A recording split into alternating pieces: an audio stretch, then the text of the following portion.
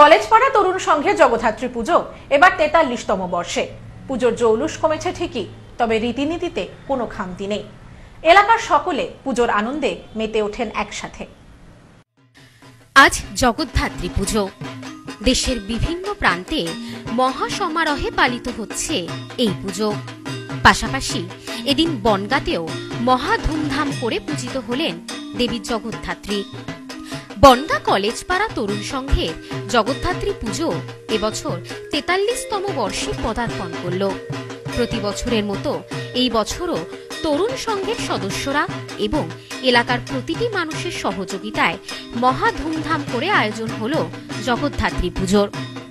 আয়োজকেরা জানালেন, অতীতে যখন এই পুজোর সূচনা হয়েছিল, সেই সময় জাঁকজমকের সঙ্গে পুজোর আয়োজন করা হতো এখানে।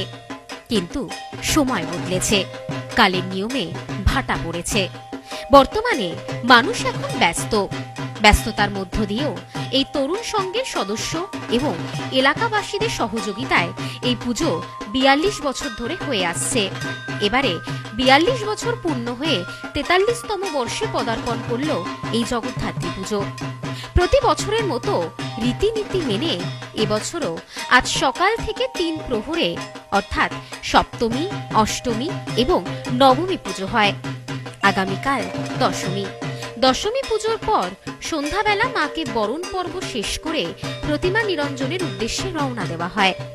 এই বিষয়ে তরুণ সংঘের প্রবীণ সদস্য আশিস মুখার্জি জানান, অত্যন্ত নিষ্ঠার সঙ্গে নিয়ম নীতি মেনে এই পুজো করা হয়। পাশাপাশি এবছর তেতাল্লিশতম বর্ষে পদার্পণ করল আমাদের এই পুজো। তবে আমাদের এই পুজোর জন্য কারও কাছে কোনো চাঁদা চাওয়া হয় না। সকলে খুশি হয়ে মায়ের পুজোর জন্য যেটুকু অর্থ দান করে, তাতেই আমরা সকলে মিলে হই হই করে পুজোর আয়োজন করি। এই বিষয়ে তিনি আরও জানান, অত্যাধিক নিয়ম মাফিক এই পুজোটা করা হয়। দ্বিতীয়, এই পুজোর একটা ঐতিহ্য আছে আজকে তেতাল্লিশ বছরে পা দিল। এই পুজোটায় কারোর কাছ থেকে চাঁদা চাওয়া হয় না, তোলা হয় না।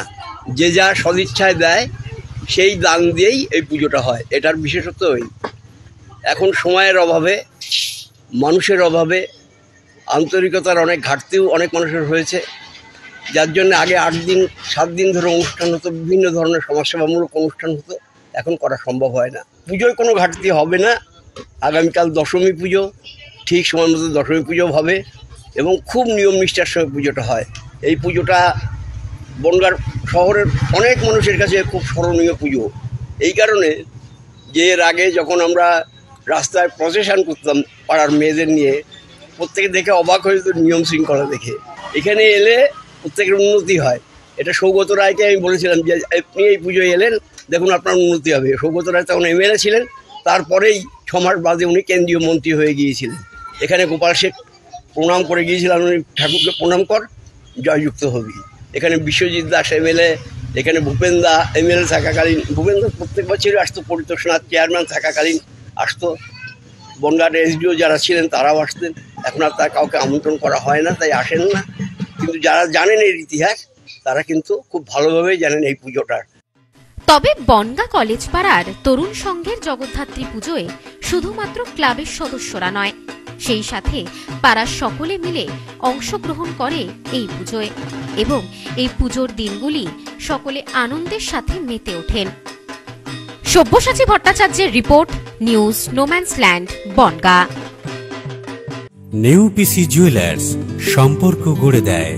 বনগাঁতে আমাদের তিনটি শোরুম প্রতিদিনই খোলা। নিউ পিসি জুয়েলার্স বনগা বাটার মোড়। New PC jewellers branch Kumudini স্কুলের বিপরীতে। New PC jewellers Beauty Motiganj Hatkhola.